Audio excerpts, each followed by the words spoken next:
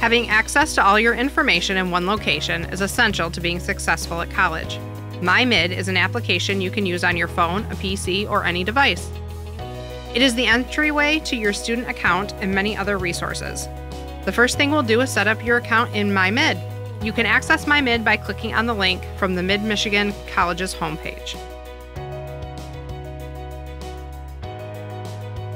Next, click Account Setup. Before you set up your account, you will need to look up your username.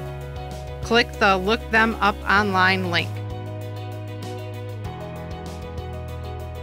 When the new screen appears, enter your last name in the box and then enter your social security number or your Mid Michigan College student ID number.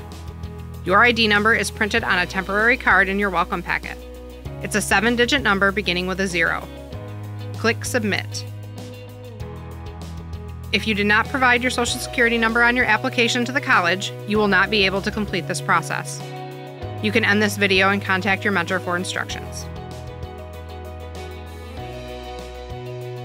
Return to the account setup page by clicking on the tab at the top. Now that you're back to the setup page, proceed to fill in the required boxes starting with your username.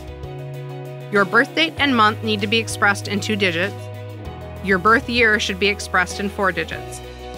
When selecting a password, choose one that has eight or more digits and characters. The best passwords contain a combination of lower and uppercase letters, symbols, and numbers. Write your password down next to your username for future reference. Once you input your information, click Continue.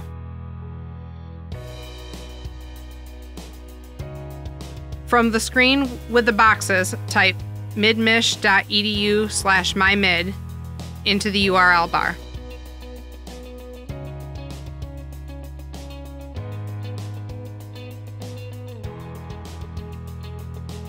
On the MyMid page, click on Login in the upper right corner.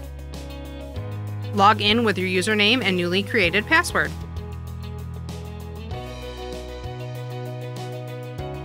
Once you've logged in, you'll see your personalized MyMid page. Your name will appear at the top right. Please notice it reads Log Out, where it once read Log In. Each time you use a public computer, please remember to log yourself out of MyMid. Your account contains personal information such as your phone number, email address, financial aid, and possible banking information. Keep your information safe by remembering to log out.